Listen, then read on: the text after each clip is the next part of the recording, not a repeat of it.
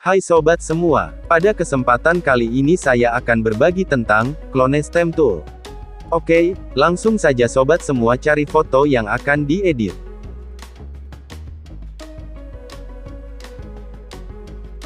Pertama buka jendela tool palette. Pilih Clone Stem Tool.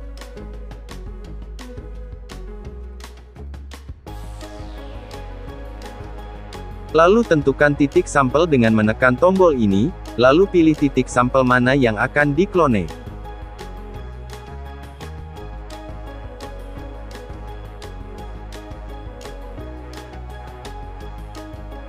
Kemudian klik tombol brush. Atur parameter brushnya sesuai kebutuhan sobat semua.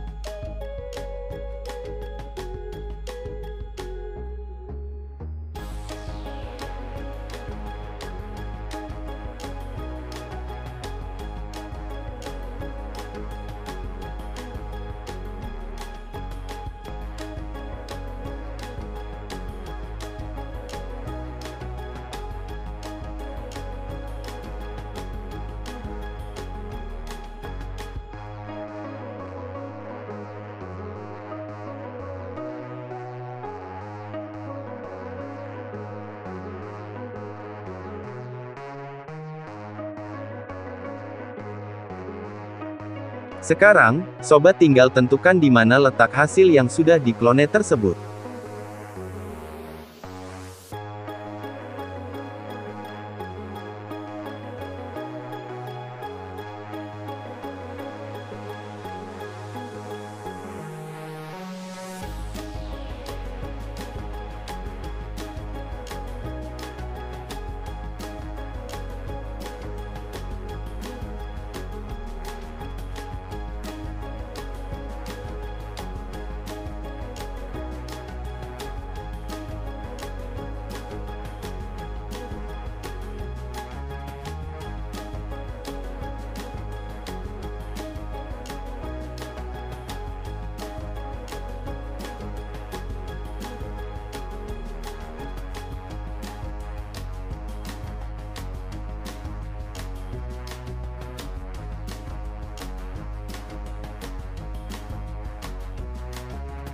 Ini adalah contoh.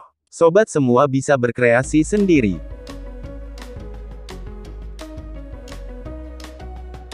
Apabila sudah selesai, tekan tombol Done untuk menyimpan projects, yang nantinya bisa sobat editing kembali.